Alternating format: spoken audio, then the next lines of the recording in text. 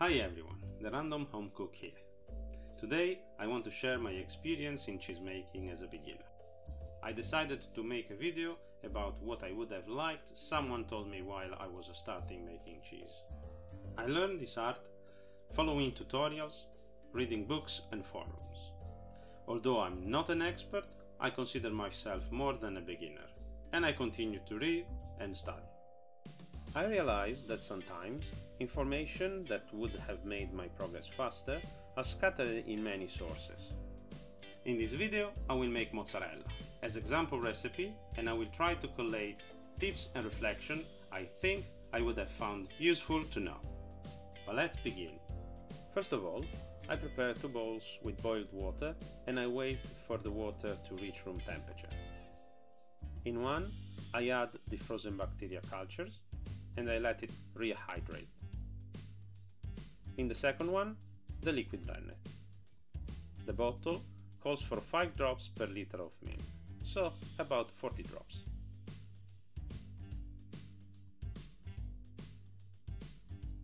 In terms of tools, a thermometer up to 100 degrees Celsius will suffice. A pot to contain the amount of milk used and a mold or vegetable strainer to put the curds in. Lastly, I need some tools like spoons, knives and other kitchen utilities. All surfaces and tools should be thoroughly sanitized and sterilized. Develop good practice is critical. Before proceeding, I sterilize the tools that can be boiled, boiling it for 20-30 minutes, and other utensils that cannot be boiled, I use food-safe products to sanitize them. I wash my hands all the time and I often use vinegar to sanitize them further.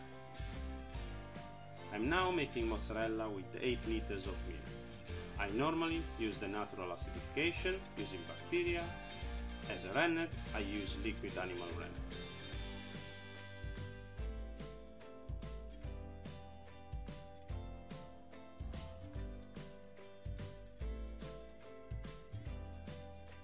Often, in the source material I used, the cheese making process is defined as easy. And indeed, making cheese is very easy. You get the milk, the rennet, the salt or brine, and then you make cheese. However, I found that making the cheese I want and making it consistently from one batch to another, it is anything but easy, and experience and knowledge makes a big difference. I let the milk slowly warm up on a medium heat until it reaches uh, 37 degrees Celsius. As beginner, I used yogurt because it is a simple, ready available source of bacteria. However, I could taste a yogurt aftertaste and the amount of bacteria within the yogurt that I add to the milk is not easy to control. In particular for mozzarella, where acidification and amount of bacteria relates neatly with the time in which the mozzarella can be stretched. I then decided to use frozen bacteria where I can actually control way better the amount of bacteria I add to the milk. And consequently, I can finally tune how long the bacteria will take to turn the curd to the right pH for stretching mozzarella. I will talk more about these later on. Among cheeses, I think mozzarella is a good entry level, fun to make and yet it has its difficulties, to be made better or at least at the same level of the one found in the shops.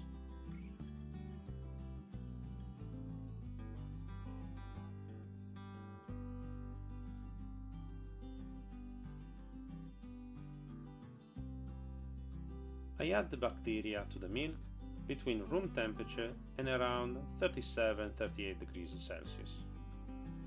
If I'm short in time and I didn't prepare the bowls of water, I add the bacteria directly and I let rehydrate on the surface of the milk for 5 minutes and then I stir them in.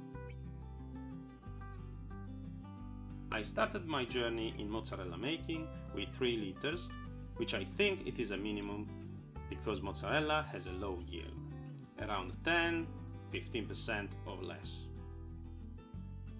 1 liter makes a good size mozzarella or too smaller. This is because While experimenting with different rennet, milk, bacteria, there are so many variables to control. And a lower amount makes it easier to manage and if something goes wrong, then there is less waste. When I became more confident, I increased the quantities. With less than 3 liters, it is difficult to maintain the optimal temperature for bacteria and the process in general, but it can be done. The more milk is used and the more stable is the temperature, which is a very important factor in cheese making. I bought a notebook to make notes of the recipes, the techniques, the steps, the timing, and at the end I was adding comments on the result. I'm sorry to say the early attempts end with the word fail or not satisfactory. However, after a while, getting practice, experience, and refining what works for me, kitchen and tools, I started to see improvements.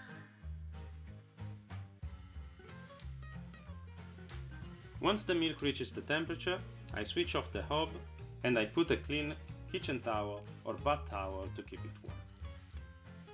I also tend to have my main cheese making season in spring and summer, when the room temperature is higher. Regardless, in winter or cold weather, I switch on the oven for just a few minutes at 50 degrees, and then I turn it off to create a warm, nice place for the milk to sit.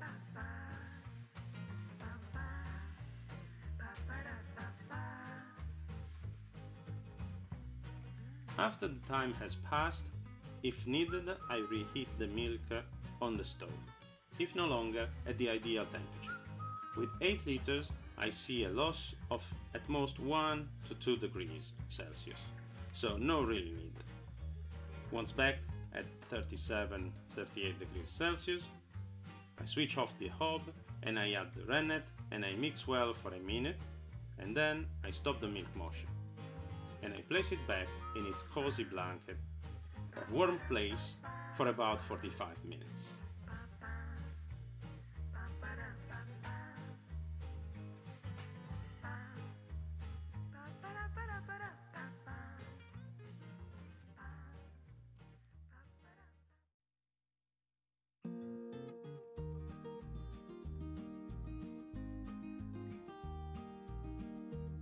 It is time to see if the rennet did its job. The milk seems unchanged at first, but the milk is no longer a liquid, more like a fragile pudding. What I look for is a clean break of the curd. As a beginner, I had no idea what a clean break was. Basically, a clean break is when you try to lift or cut the curd and it splits with a sharp well-defined edge. See how clean are the lines left even by the thick handle of the spatula I'm using? Today, the milk settled very well. After the first cut is done, the curd needs to rest for another 15 to 30 minutes before performing the second cut. For many cheeses, including mozzarella, the curd is cut twice. The first cut is to detach the curd from the pot and start to release the whey, the yellowish watery part. For mozzarella, the second cut needs to turn the curd into hazelnut-sized chunks. The milk is from a farm, unhomogenized, gently pasteurized. Due to its consistency and quality, I can be a little more relaxed during cut and curd handling operations. The cut of the curd and their size for what I understand, is proportional to the softness and water content of the end result. These also affect the yield of the cheese. Bigger the chunks, more water content and softer is the cheese. Also more water is often related to shorter shelf life or aging. The second cut takes time and it is quite relaxing. From time to time I check if I forgot any larger chunk and in case I break it with my hand or whisk. There are specific professional tools to cut the curds like cheese harps, but the whisk worked perfectly for me. It takes a bit longer but works in the long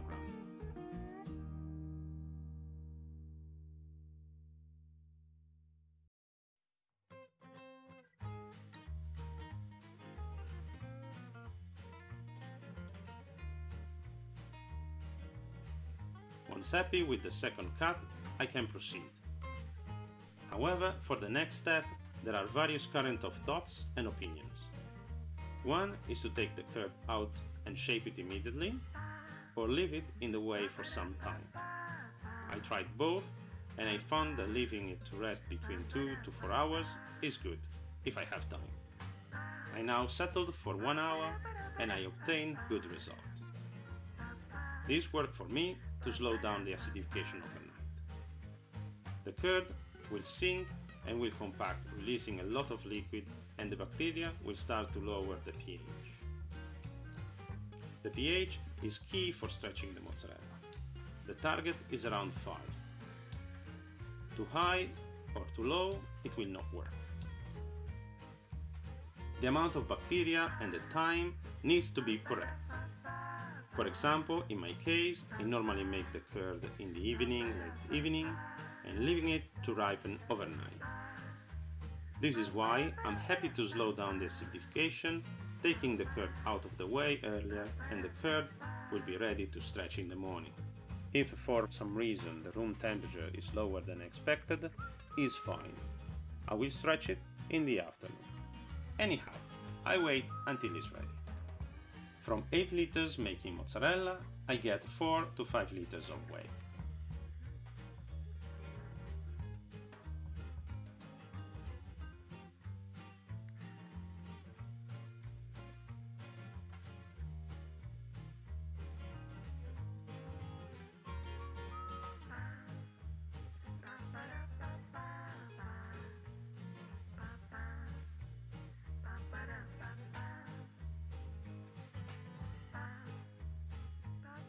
Now I get ready to shape the curd. I find that using a simple vegetable strainer works best for my process. However, I could use any cheese mold of the right size commercially available. I place the strainer on the top of the whey container and then I pour the curd in the strainer. The remaining whey gets collected underneath.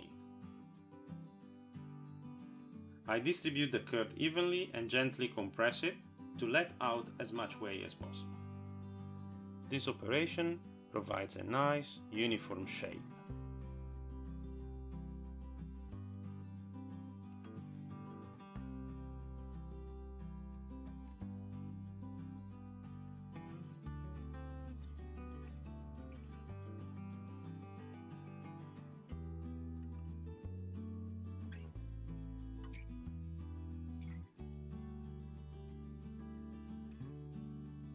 Using the big pot, I place two cheese molds at the bottom of the pot and I sit the strainer on top of them.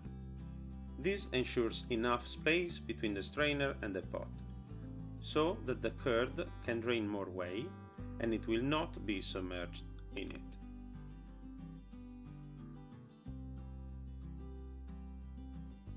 Then I cover everything with cling film to keep the moist and temperature as high as stable as possible. I cover it and I put it back in a switched off oven to rest. I let it rest for 30 45 minutes.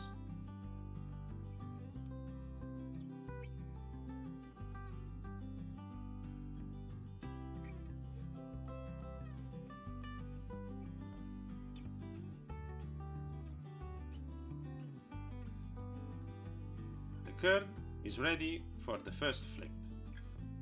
I normally use a plate because the curd at this stage can break. The curd needs to be flipped three times.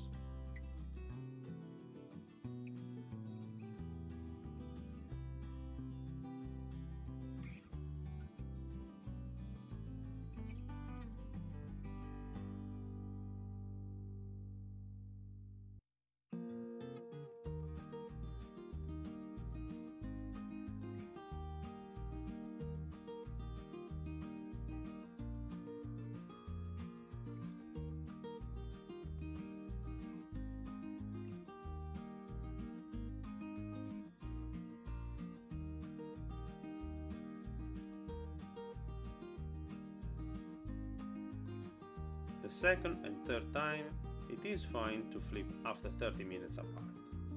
The curd has lost additional weight and this gets collected at the bottom of the pot. It is now compact enough to be flipped just with one hand.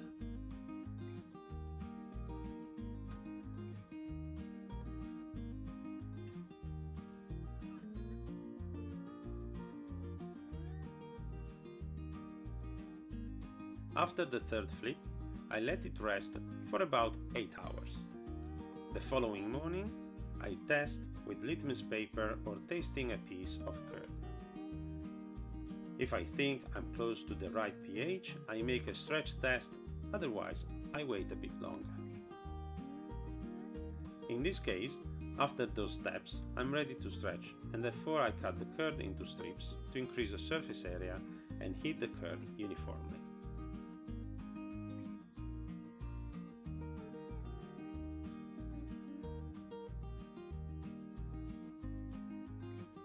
It is time to prepare my mind and body to suffer. Luckily, I have strong hands and a good tolerance to hot water, but I cannot hide that it hurts a lot. Sure, I could use thick gloves, but I found that they impair my mobility.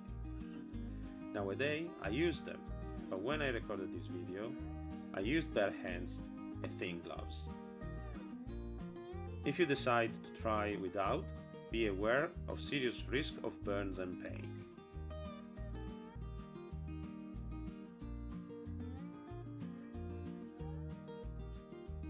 And definitely keep cold water close. Once mentally ready, I prepare three bowls. One with very cold water, I add ice if needed. In this water I add salt between 1 to 2%. For example, I use here 10 grams of salt per liter of water. I let the salt disappear and I will keep the mozzarella in this water until consumed. A second bowl that I will use to stretch the mozzarella, empty. I put the curd in the empty bowl. And a third bowl to remove excess water with a strainer to catch escaping curds. While I'm stretching the curds, I use a wooden spoon, because when I tried using a metal spoon, that I thought was easier to sanitize, the stretched mozzarella stick to it, making the operation very difficult. So I figured out that there is a good reason why often, in videos, the mozzarella makers use wooden tools. I add boiling water at a temperature of about 80 to 90 degrees which will be lowered by the cold curd and pot. And I let the curd to warm up a little for a few minutes.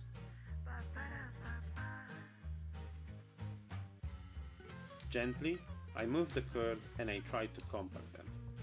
If the acidity is right, the operation is quite simple.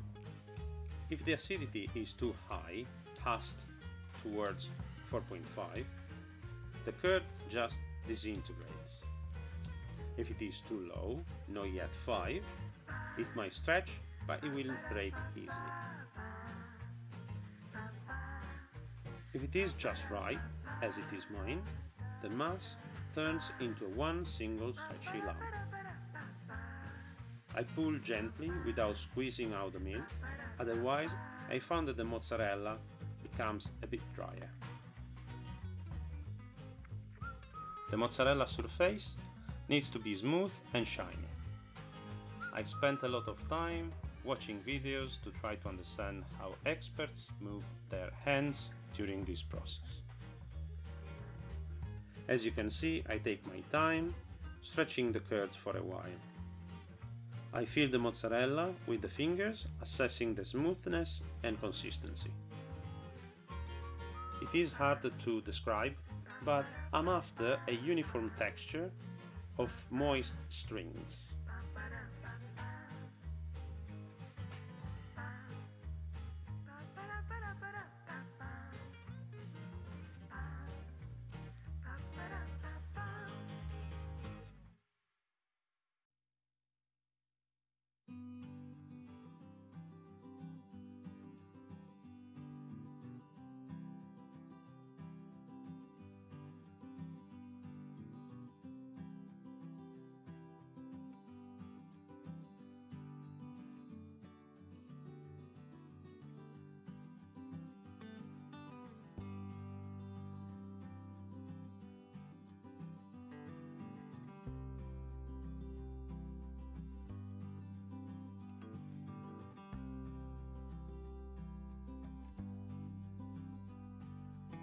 While I'm stretching the mozzarella, a few more thoughts about rennet and coagulation time. The time for setting the curd is often provided by the recipe, but I found that it seems calculated in function of the cheese to make and the milk flocculation time. For the mozzarella, the time results to be 3.5 to 4 times the flocculation time of the milk, which in my case is often about 11 minutes. And 11 minutes times 4 makes 44 minutes. As a beginner, this knowledge was not important, but I found out about this almost by accident, and therefore I think that a beginner should know at least the existence of the concept, or at least I would have liked.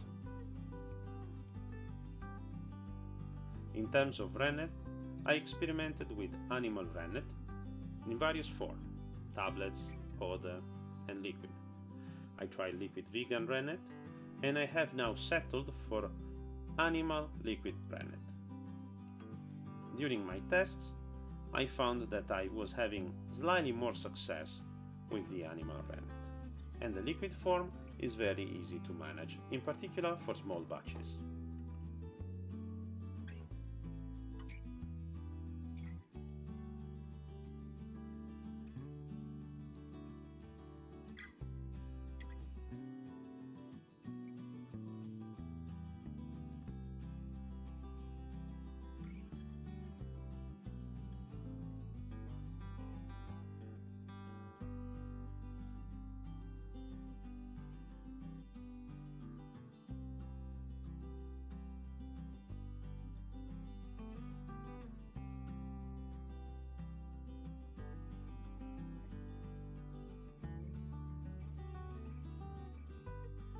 Now the water is too cold.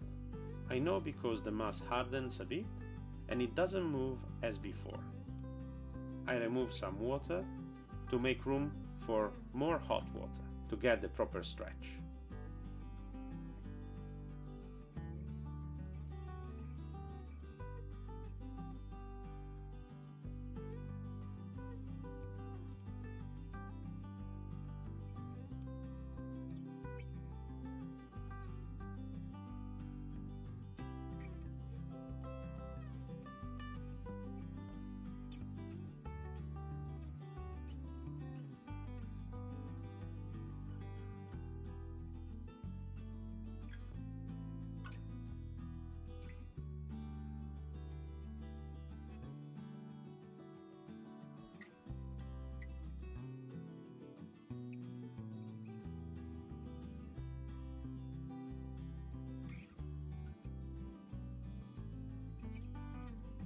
From time to time, I plunge my fingers in the cold water bucket to have some relief. And now I shape the mozzarella.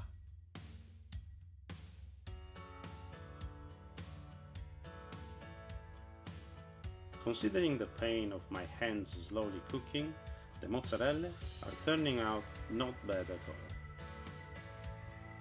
The mass can be shaped in different types of mozzarella. I do some knots, some small mozzarella, anything that will help me to learn other techniques. And this is true, all the different shapes have different textures.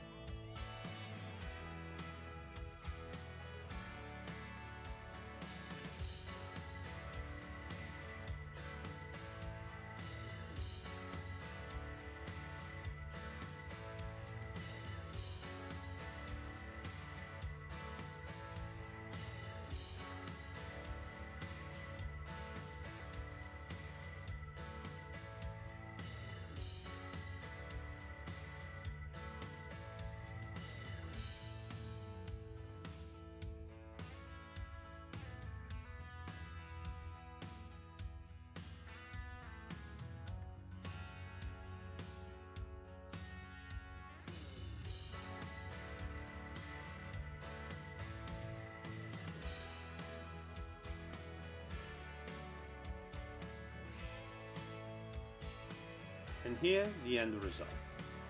Before the quality check, it is better to leave the mozzarella a few hours in the fridge. The acidity should be balanced and the salt absorbed.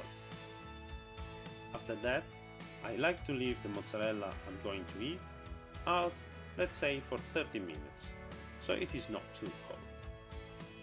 You can see the various layers of stretchy goodness, very soft. They do not last more than one or two days, and I would not eat them past the fourth or the fifth day, but never lasted that long. Following the sanitization procedures and refrigeration, I think this is a reasonable time that works for me to eat them at their best. However, for specific guidance on food safety, shelf life time, please follow your local laws and seek professional guidance. Here another test in which I show how moist they are. After all, they are called fior di latte. If you like this video and you would like to see more, consider clicking the subscribe button and hit the bell to be notified of new videos.